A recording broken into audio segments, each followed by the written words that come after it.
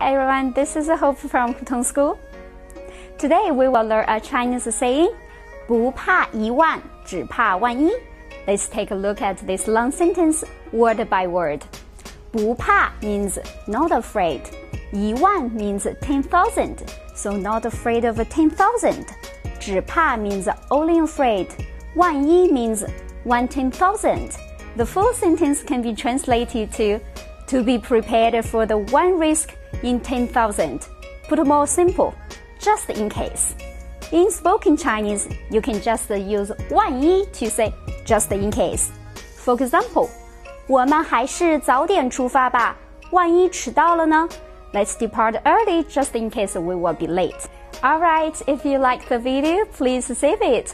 万一找不到了呢？Just in case you cannot find it back. Thanks for watching.